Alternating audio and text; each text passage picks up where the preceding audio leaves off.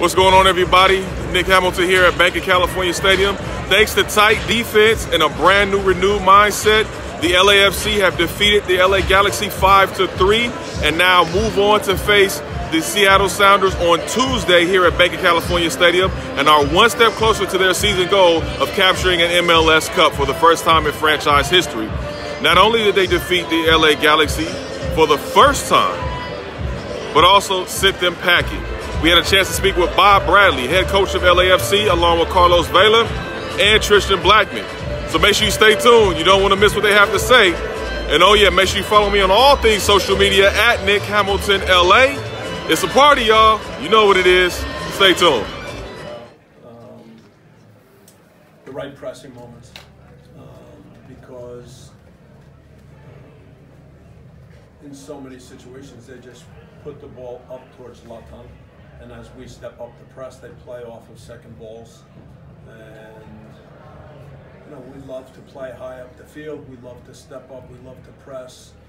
But we had to try to find a balance in all that today. Uh, I think early in the game the balance probably wasn't very good because we, we we probably allowed them a little too much, but the flip side is that we were able to hurt them in transition. So uh,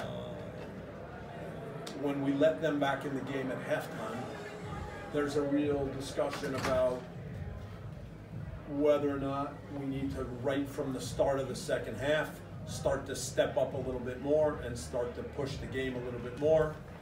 Uh, the players felt that that we could still continue, um, but then when it got to two-two with the subs, we really wanted at that point to see if we could push higher, step up, and we did a very good job of that. That's the way we play, um, basically uh, 99% of the time. Man, today was a big night for us, but in playoff, it's not a matter of what team you are you are playing against.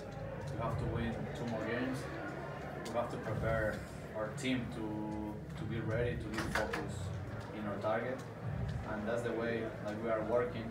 That's the way the philosophy is to have it, and we focus on that. We focus in ourselves, and that's the way to be a, a good team. It Doesn't matter the the rest.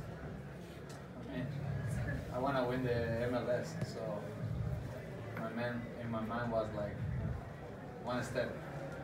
We do one step more, and all all the work we, we did, the hard runs, performance of all the team. It's like a big moment. Like I say, it was a big moment for us. We work for that kind of, of games.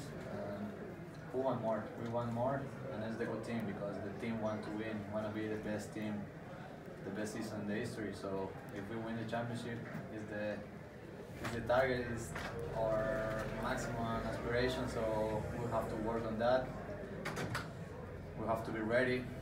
We forget about this game, and we have to prepare the next. get one. involved in it. But And how- did um, what was he doing upstairs? Good question. Drinking coffee with Magic Johnson? Good question. Exactly. But how, how does that impact just uh, how the game goes on from there? 'Cause that certainly plays a role in this. It's difficult because if you have the VAR, it, it, it means that the, the game is extra controlled by the not a fourth by fifth referee upstairs. But yeah, if he's drinking coffee with Magic Johnson, then it's difficult to to to play the game because he has to be in control. He didn't even go out and check, and he said that he needed a signal from the VAR people to go out and check. So what is, what is the VAR people doing? But yeah, I don't want to complain about that, guys. We just lost, and uh, I don't want to be a loser complaining about the ref because he's not.